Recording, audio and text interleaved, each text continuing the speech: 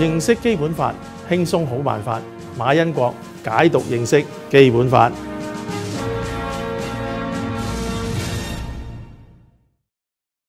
歡迎大家收睇馬恩國解讀認識基本法。基本法最最最重要嘅條文係邊條呢？嗱，當然係放喺第一位嘅第一條。第一條開宗明義就咁話啦，香港特別行政區係中華人民共和國不可分離嘅部分。不可分離呢四個字講明國家領土係最神聖嘅道理。一九九七年，中國由英國首相回復香港嘅主權，並訂立基本法嚟管治香港。呢四個字一句就講明咗維護國家領土完整呢個絕不能違背嘅大原則。喺基本法之內，大家都可以揾到保障第一條不可分離嘅條文，當中咧就包括咗第二十三條啦。嗱，究竟基本法第廿三條講啲咩呢？嗱，基本法第廿三條就咁講：香港特別行政區應該自行立法，禁止任何叛國、分裂國家、煽動叛亂、顛覆中央人民政府及竊取國家機密嘅行為，禁止外國嘅政治性組織或者團體喺香港進行政治活動，禁止香港嘅政治性組織或團體同外國嘅政治性組織或團體建立聯繫。換句話講，即係廿三條針對以下七樣嘢。第一，叛國。咩係叛國呢？嗱，譬如話幫助或者參加侵略中國嘅軍隊，去推翻中央政府，或者係武力強迫中央政府改變佢嘅政策，咁就叛國啦。第二，分裂國家。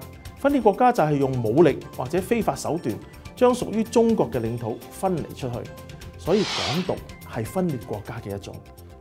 因為其實基本法第一條已經開宗明義寫到明，香港係中國不可分離嘅一部分。第三，顛覆中央政府，即係用武力或者嚴重嘅非法手段去推翻或者威脅中央政府，去廢除中國現行嘅政治制度，就係顛覆中央政府啦。第四，煽動叛亂，煽動叛亂即係慫恿其他人去叛國。顛覆政府或者分裂國家，或者去搞暴動，令到國家唔穩定。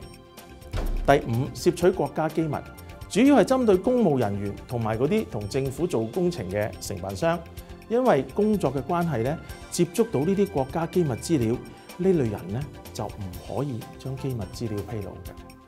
第六，禁止外國政治組織喺香港活動。第七，禁止香港嘅政治組織同外國嘅政治組織聯繫。嗱，值得留意嘅係《基本法》第二十三條，雖然講明特區政府應該自行立法，但係回歸到而家為止，呢項任務都依然未完成㗎。嗱，喺二零零二年至二零零三年間咧，董建華做特首嘅時候，香港都曾經試過為二十三條立法。嗱，不過由於當時嘅社會爭議太大啦，港府最終主動中止立法程序。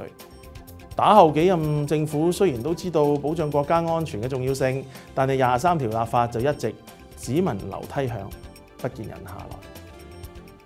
到咗今時今日，香港社會出現過非法佔中嘅行動啦，港獨之説更加有變本加厲嘅趨勢。既然要防止威脅國家安全、反港獨同埋捍衛國土完整嘅需要下，廿三條立法係唔係越嚟越迫切呢？